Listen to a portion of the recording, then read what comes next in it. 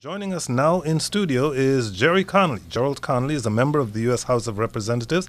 He's a Democrat from Virginia. He is up for re election next Tuesday. Congressman Connolly, thank you for joining us. It's my pleasure to join you again. Cover. Also joining us in studio is Keith Fimian. He is the Republican candidate for the U.S. House of Representatives for the seat representing Virginia's 11th congressional district. Keith Fimian, thank you very much for joining us. Kojo, nice to be here. Thank you.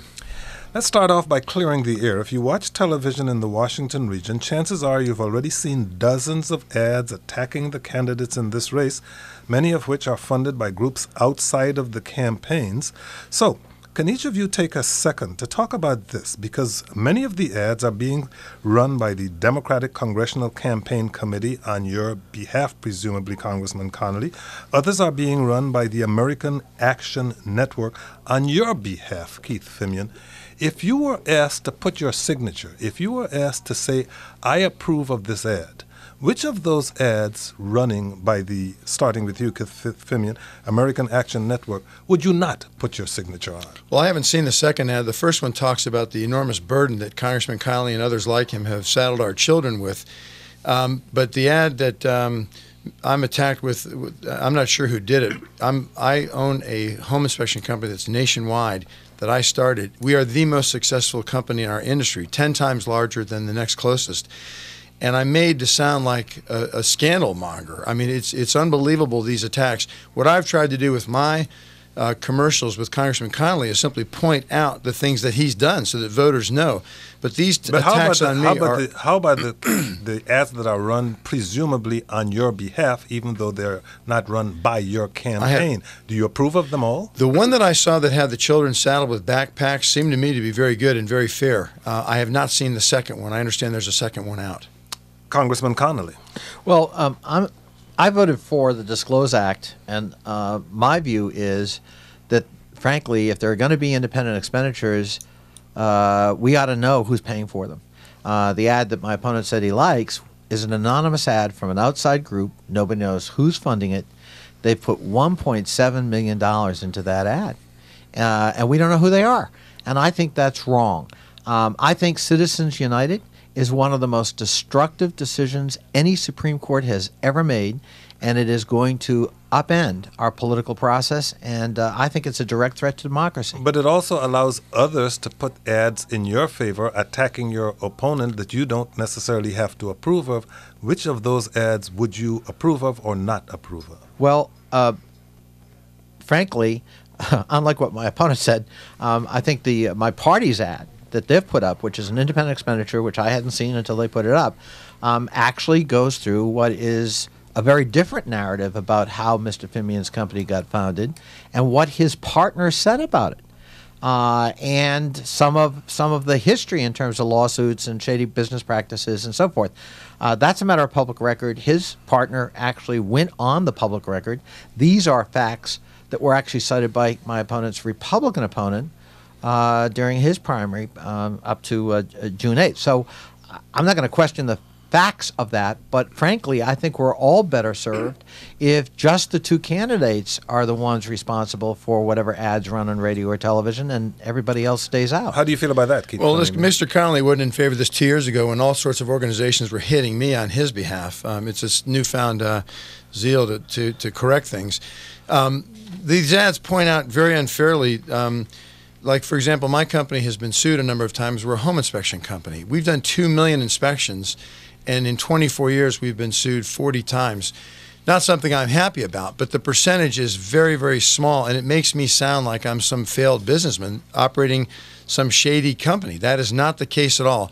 And unfortunately, as is the case with many partners early on, um, uh, one of the partners I started my company with, my brother and another fellow, um, you know, just wanted to take the company in a different direction. And um, we parted, and I was surprised that he said anything. He, he, wasn't publicly on the record, but he voted for me in my last three-year board term two years ago. So it's. Uh, we haven't even put out the phone numbers yet, and calls are coming in. The number is 800 433 8850. If the lines are busy, you can go to our website, kojoshow.org, raise a question or make a comment there. Send us a tweet at Kojo Show or an email to kojo at wamu.org. Tom? Uh, gentlemen, this is a, an extraordinary election nationwide with the Democrats facing a loss of a number of seats. Uh, depending on what your view of it is, it's as little as a few, 20 or so, it's to as many as 40 for the House Republicans to take control, to as many as 50, 60 or more. But the the viciousness of the ads that are being done on your behalf, or in some cases candidates are doing for themselves, I want to try to restore a little bit of civility. And I would like for you, Congressman, and you, Mr. Fimian, to say one thing nice about each other. You go, go first, Mr. Connolly. We only have so much time No, left. this is this this is a 10 second answer, probably. I mean, is there something you can say nice about him just to kind of clear the air, like for a breeze or I, something? I believe that my opponent, uh, uh, while I, we don't agree, um, I believe he is a sincerely motivated person, and I recognize that. Mr. Fimian, say something nice about Congressman. Well, Connolly. listen, I think we're both after the same end. I, I we want what's best for our country and our children, and it, it, the way we go about these things is dramatically different. Okay, that's pretty nice. Is that it? Now you can leave if that's all you're here for. No, I wanna talk join about- that demonstration to restore sanity or whatever it's called. the economy still needs a kickstart. People are having a hard time finding work. Both of you have expressed concerns about more spending and stimulus. What ideas do you think should be on the table when we talk about getting people back to work? And more specifically, what ideas do you have to offer, Congressman Connolly? Well, again, this isn't theoretical for me. Um, I was very proud to support the small business bill that just uh, got signed into law that creates a new $30 billion fully paid for uh, loan facility to make credit flow again to small businesses. They're the engine of economic growth. They're the engine of job creation. And the one of the biggest problems small businesses have faced in the recession, uh, the Great Recession, was the lack of access to capital. Uh, and if they're going to hire and if they're going to be able to expand, they've got to have access to capital. And frankly, the banks weren't doing that. And so uh, I think that's a very important first step. Um, I think there has to be more predictability and certainty in the economy, and that's why I support a, at least a temporary extension of the tax cuts so that people can make their plans over the next year. All or the two. tax cuts? I would. I favor the uh, temporary extension of all of the tax cuts, and I'll tell you why, Tom. We just saw the economic performance today; it was two percent. That's too fragile. There's a risk of raising taxes on any income group across the board right now of that further contracting. We cannot afford You to take the differ of with that. the administration I on take. that issue. I The have all year long. I have publicly stated that I disagree with the president and with my party's leadership on that issue. It's for convenience, Kojo. Mr. Connolly said he was against the tax cuts, and had he been in Congress in 2001 and 2003, he would have voted against them. Now he's for them because he's behind in the polls. He's going to be against them on November 3rd. Look, the single most important thing government can do to create jobs and grow the economy is eliminate uncertainty. Uh, Mr. Connolly now knows that because of our debates, but he doesn't understand it completely. The fact is, you have to reduce this uncertainty so people are going to be willing to invest. American corporations today are sitting on 30% more cash than they were two years ago at the start of the recession. Why? Because they're afraid to go forward. If I don't know if my, if I think my taxes are going up, if I think my health care costs are going up, my energy costs, I'm going to sit on the sidelines. And the reason is margins in the private sector are so thin, you can't afford to take that chance. You can't afford to gamble.